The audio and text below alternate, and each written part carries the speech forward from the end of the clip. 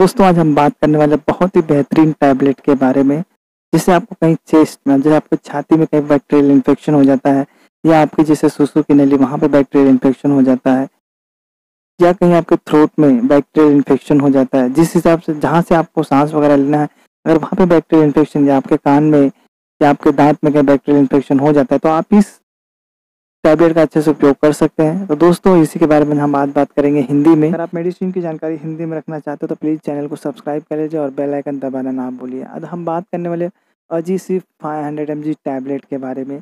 तो दोस्तों, ये अजी सिर्फ़ five hundred M G tablet इसको मैन्युफैक्चर करता है सिप्ला फार्मा एलटीडी तो दोस्तों, अब हम इसमें मेनली तीन टॉपिक पे बात करेंगे। इसमें कंटेंट क्या है और वो कंटेंट कैसे काम करता है और देखेंगे इसका प्राइस लास्ट में देखेंगे यूजेस और साइड इफ़ेक्ट तो दोस्तों इसमें जो कंटेंट है वो अजिथ्रोमाइसिन 500 हंड्रेड है।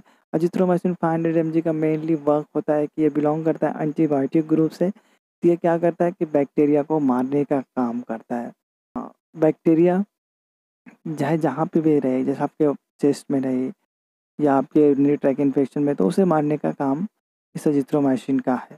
तो दोस्तों इसमें आप प्राइस के बारे में देखेंगे तो इसमें तीन टैबलेट का प्राइस है सेवेंटी वन रुपीज़ हाँ दोस्तों, इस मेडिसिन को लेने से पहले एक बार डॉक्टर की ज़रूर सलाह लीजिए, क्योंकि डॉक्टर ही आपके, जो आपकी बीमारी है, जो इन्फेक्शन है, उसके बारे में ज़्यादा तरह से आपको गाइड कर पाएँगे।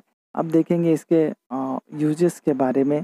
तो इसका यूजेस दोस्तों ये है कि आप इसे खाना खाने से दो घंटे पहले या खाना खाने के एक घंटे बाद आप इसे यूज़ कर सकते हैं, ले सकते हैं। इसमें तीन डोज रहता है तीन दिन में तीन डोज खाना रहता है first second and third days इसका सिंगल सिंगल डोज रहता है।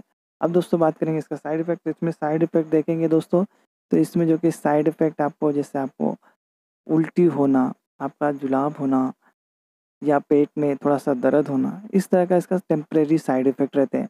दोस्तों इस वीडियो में जो इन्फॉर्मेशन अगर आपको अच्छी लगी तो प्लीज़ वीडियो को लाइक कर दीजिएगा। अगर और भी आप एंटीबायोटिक मेडिसिन के बारे में जानना चाहते हैं तो आप राइट हैंड साइड में जो प्ले लिस्ट उसे आप क्लिक करके देख सकते हैं। दोस्तों, फिर मिलते हैं नेक्स्ट वीडियो में, तब तक के लिए अपना ख्याल रखिए।